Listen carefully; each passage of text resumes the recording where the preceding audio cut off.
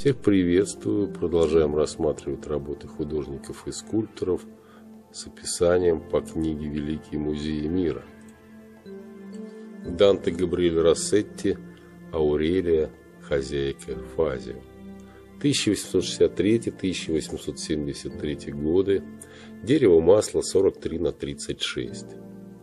Женские образы, созданные Рассетти являющиеся по своим эстетическим особенностям квинтэссенцией стиля прерафаэлитов, оказали значительное влияние на формирование собирательного образа идеальной женской красоты в Англии XIX века. Известны женщины, послужившие художнику моделями для этих картин. Его отношения с ними были очень сложными и напряженными.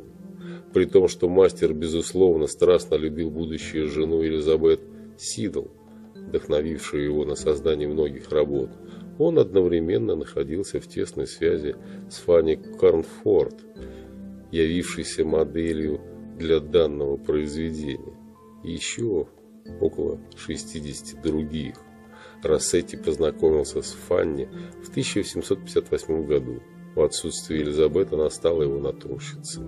Однако, когда Елизабет вернулась, живописец женился на ней, сделав этот шаг в значительной степени из сострадания, ясно осознавая неизбежность скорой кончины избранницы.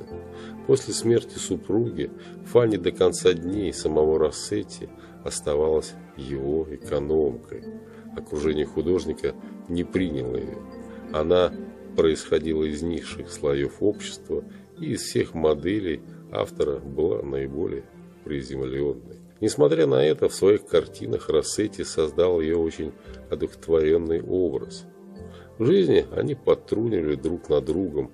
Мастер ласково называл любимую «мой дорогой слон», а она его «носорог». Когда они были в разлуке, художник посылал ей рисунки слонов. Ну, вот такое описание из книги «Великие музеи мира» к работе Данте Габриэль Рассетти «Аурелия. Хозяйка Фазия». Пока-пока, до свидания.